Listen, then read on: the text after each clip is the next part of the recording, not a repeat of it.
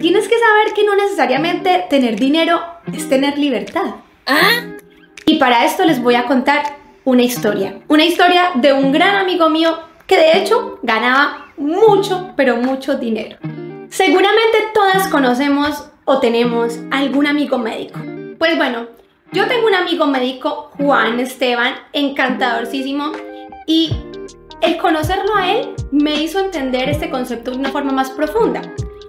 Mi amigo es una de esas personas que tiene un súper sueldo, ¿no?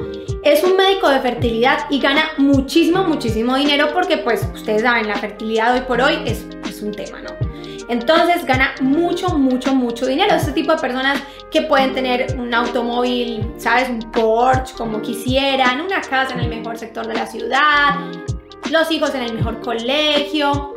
Pero lo que para muchas personas podría ser visto como, uff, él tiene libertad financiera, él es exitoso.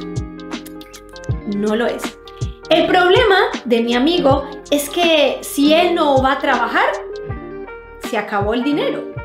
Si por algún motivo, imagínate, pierde sus manos o tiene algún accidente y ya no puede operar, pierde el dinero.